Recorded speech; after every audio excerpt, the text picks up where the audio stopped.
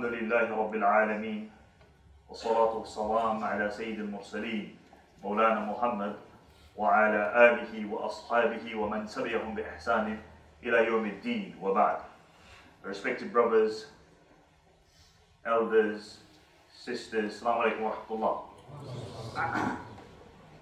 Allah subhanahu wa ta'ala says in his book, فَمَا بَكَتْ عَلَيْهِمُ السَّمَاءُ وَالْأَرْضِ That when some people depart from this dunya, the heavens and the earth don't cry over them. What is the reason for this? Because they have no connection with their Creator. They have no iman. They have no good actions that the heavens cry over or the earth cries upon. On the other hand, there are many people, when they leave this dunya, the heavens and the earth cry over them. Why would the heavens cry over somebody? Why would the earth cry over somebody?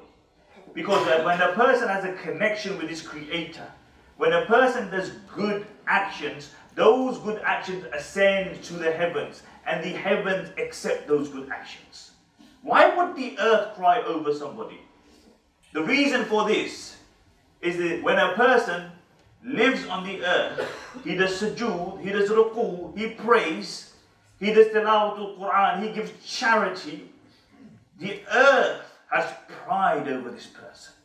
And this is why when a person who is pious and beloved to Allah subhanahu wa ta'ala leaves this dunya, the heavens and the earth cry over. But very rarely do you find that the heavens and the earth cry over a person and the entirety of humanity cry over that person. And one of these very rare exceptions was Muhammad Ali. That not only the heavens and the earth, but the entirety of humanity he touched. And this is what made him unique. You know, the day that Muhammad Ali passed away was the same day that we had our Khatm al-Bukhari and the opening of our new place. And I remember I woke up, I put my phone on, and I saw that Muhammad Ali had passed away. In reality, you know, it was as though a part of us had been lost. As one brother said, it was as though a family member had passed away. For those of my generation, and those who are slightly older than me, Muhammad Ali was our icon. You grew up with Muhammad Ali. I still remember, I was still at primary school when Muhammad Ali fought George Foreman and he beat George Foreman. That entire day I was happy. I still remember when he was beaten by Leon Spinks. And then he re-beat Leon, then he beat Leon Spinks. And you know, you had this, this love for this person. And the truth is that nobody will miss Muhammad Ali in the current climate as much as the Muslims. For he was the face of Muhammad Ali. You know, you look at this man, for three decades, he's hardly uttered a word. He's hardly said a word. But he gave the Muslims a comfort. You always knew that there was a man out there called Muhammad Ali and he was one of us. You know, as great as Mandela was, and his sacrifices were most likely more than Muhammad Ali, there was a distinct difference. Mandela wasn't a Muslim. Muhammad Ali chose to be a Muslim. You felt the akhuwa and the brotherhood with Muhammad Ali. And that was what was different about Muhammad Ali. You know, this was a man, subhanallah, and I'm not standing here to sanitize this man. I will not say that he was a scholar or he was a sheikh or that his life was actually even flawless. Because nobody's life is flawless. But the teachings of Islam tell us two things. That remember the dead in a good manner. But more than that, and more importantly than that, Muhammad Ali, rahmatullah alayh, was a man who had so many good actions that the little evil that he'd done was drowned by his good actions. And this is what was different about this man. That he was exceptional. His actions were unparalleled. You know, he, he made a change within society. What will you remember Muhammad Ali for? The man was good looking. He was flamboyant. He was witty. He was charismatic. He was an amazing athlete. He was a, the best boxer that ever lived. But that is not what you will remember Muhammad Ali only for. He transcended the sport. You had many other great boxers. You had Joe Louis. You had Sugar Ray Robinson. You had Joe Frazier, Ken Norton, George Foreman. You had Hitman Hearns, Sugar Ray Leonard. You had Mike Tyson. You had Mayweather. All these were world champions. But the difference with Muhammad Ali was that his championship captivated the world. He was really the champion of the world. People loved Muhammad Ali because the man was different. He transcended the support. And this is why, you know, he was a man who made people happy. Wherever Muhammad Ali went, he made people happy. You've seen all the videos. He's playing around with little children. He's helping people. He made his people, downtrodden people, the Afro Americans feel proud of their identity. He was kind, unparalleled. You know, there's so many stories about his kindness. They say that his uh, biographers mention that often he would tell the media not to report all his acts of kindness. Let me mention a couple to you. There was a girl from Britain who had spina bifida. She went to America. She went to meet somebody else, but she met Muhammad Ali. Muhammad Ali saw this girl in a wheelchair. He took off a jewel champions of the champion ring and he gave it to her. Another occasion, he was watching the TV. And while he is watching the TV, he sees that there's a home, which, or old people's home, which they're going to shut down. So what does Muhammad Ali do? He picks up the phone and he rings. And he said, How much will it cost to keep that old people's home open? They say a hundred thousand pounds. He writes a check for a hundred thousand pounds and he gives it. See, this was a man who made people happy. The Prophet ﷺ said that to smile is sadaqah. What about that man who made other people smile? What about that man who made other people confident? What about that man who he was an icon for people? He was a believer. He was a mu'min. But you can only do this when you are self-principled, when you have some principles in your life. When, when you are sure about yourself. And this was what Muhammad Ali was. He was principled. He was sure. He, he had a goal and a motivation. You know, he mentions that he came back after winning the gold medal at the Olympics, and this was a time of segregation. And he says, I went to have some dinner at a restaurant which only served the whites. He said, I went in and I sat down. And they came up to me, and the waiter came up to me and he said, We don't serve niggers here. And Muhammad Ali was witty, and he said, That's okay because I don't eat them either. He said, They threw me on the street. He said, I went to the Ohio River. I took my gold medal, which I won for my country, and I threw it into the river. You know, this was amazing. Why? Because symbols mean nothing if they do not serve a greater goal. What did that gold medal for his country mean? It meant nothing for Muhammad Ali if he wasn't equal amongst the other people. It, for him, it meant nothing. And this is why the man was principled. He won the world title, beat Sonny Liston. 7 to 1 favorite Sonny Liston was. They gave Muhammad Ali no chance. 7 to 1.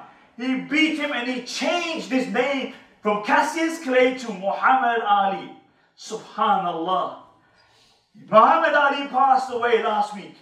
You heard the millions of eulogies, the millions of comments, and the millions of praise. But it was never like this. Go back 30, 40 years. This man, like every revolutionary before him, was de demonized. He was despised. Mandela, Malcolm X, Martin Luther King, Muhammad Ali, they were all despised. The New York Times, when he passed away, had a full front page praising Muhammad Ali. This was the same New York Times which when he was sentenced for five years, they gloated upon the sentence. When he changed his name to Muhammad Ali, the vast majority of the media outlets refused to call him Muhammad Ali. They called him Cassius Clay. Why? What was the difference? Because this man was a man who made a change who affected the general public. That's the reason. The establishment always hates people who will fight against the establishment. And if we anything that we learn from the life of Muhammad Ali is that if you remain principled, Allah subhanahu wa ta'ala, a day will come, Allah will honor you.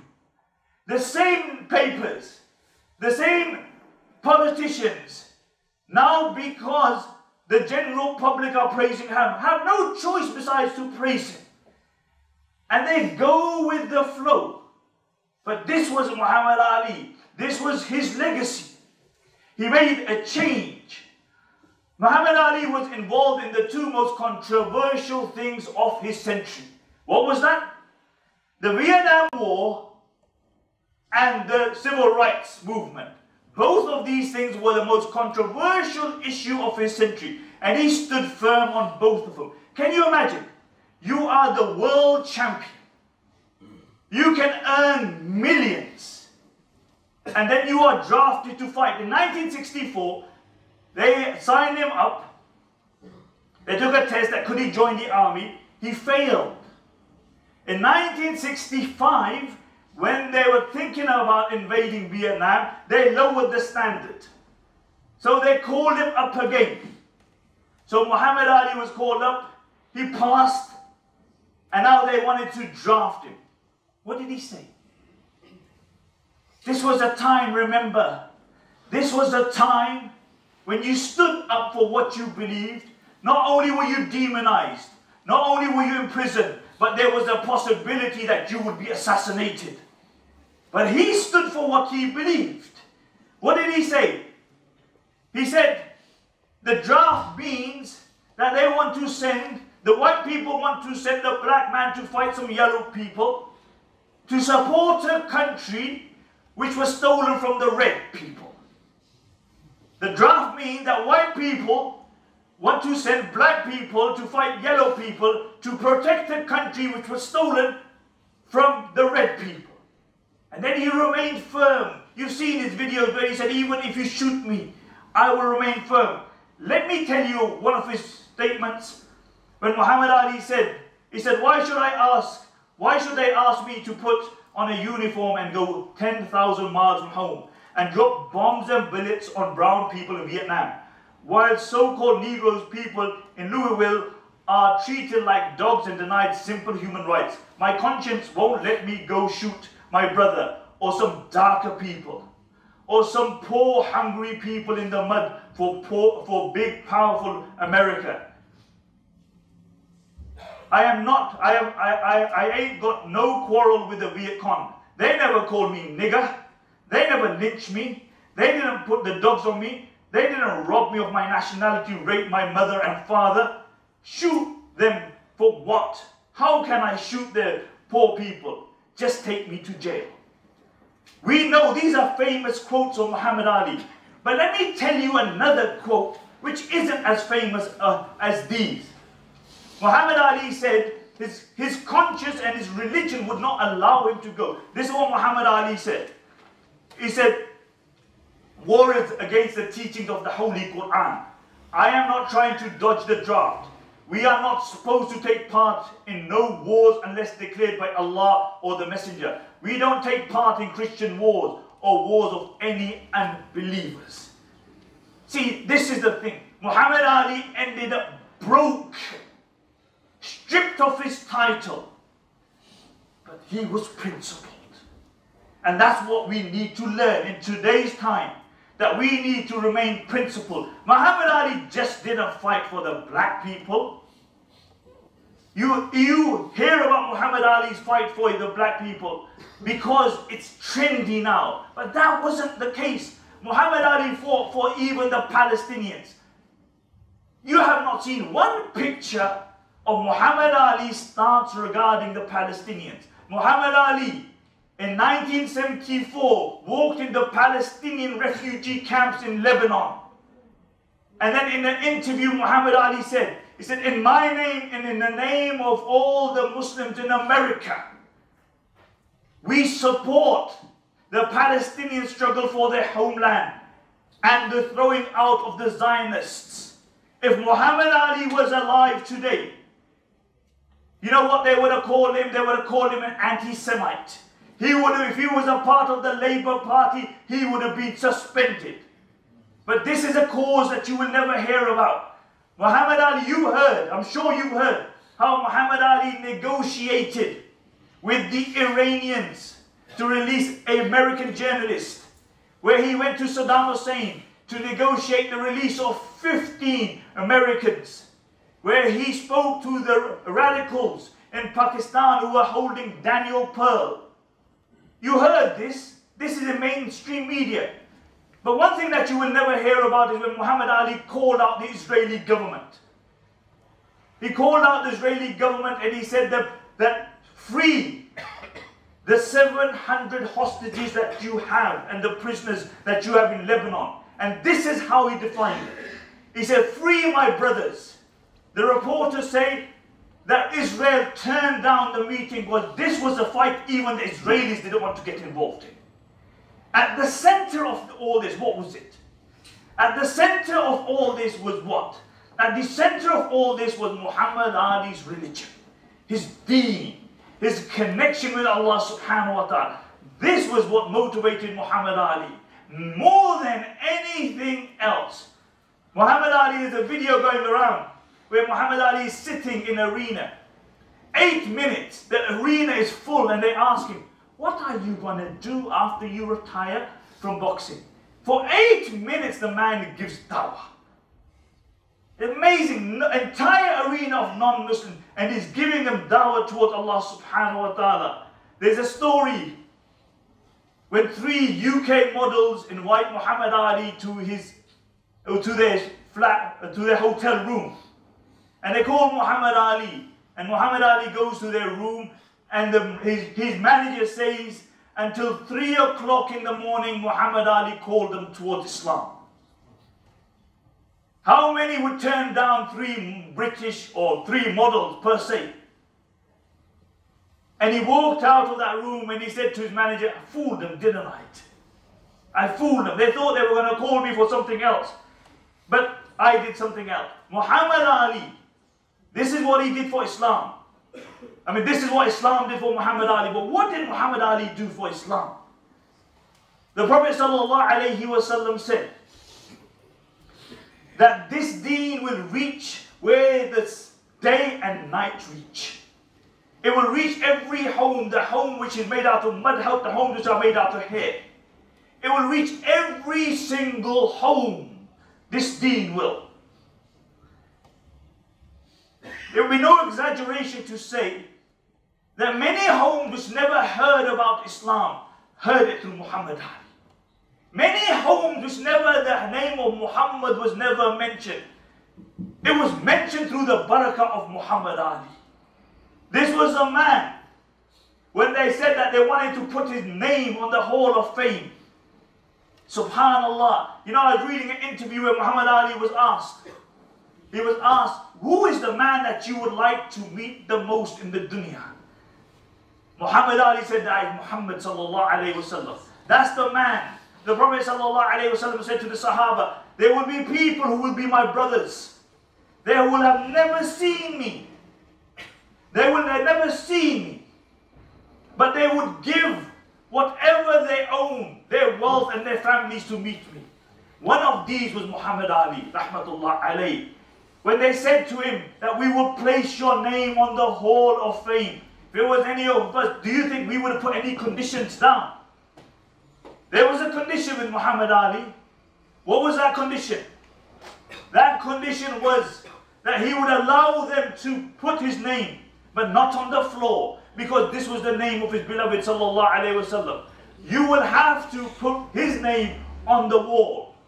Allah subhanahu wa ta'ala says in the Quran, وَرَفَعْنَا لَكَ ذِكْرَكَ وَرَفَعْنَا لَكَ ذِكْرَكَ He says to the Prophet sallallahu alaihi wasallam, he said, Oh Muhammad, we have raised your dhikr. Anybody who attaches there with the dhikr of the Messenger of Allah, Allah will elevate their status. And it's only justice where all the other stars, their name is on the floor. That Muhammad Ali's name is on the wall. Why? Because he shone greater than any other star. He shone greater than any other star. And this is why Muhammad Ali's name is on the wall. But by his own admission, what was the greatest? What was the greatest fight of his life? He had fights in the ring. He had fights with the government. And then his final fight with Parkinson. He said, This is my greatest fight in my life. The Messenger of Allah وسلم, said in an amazing narration, he says, Allah has appointed a certain place for a believer. And sometimes he can't attain that status through his actions.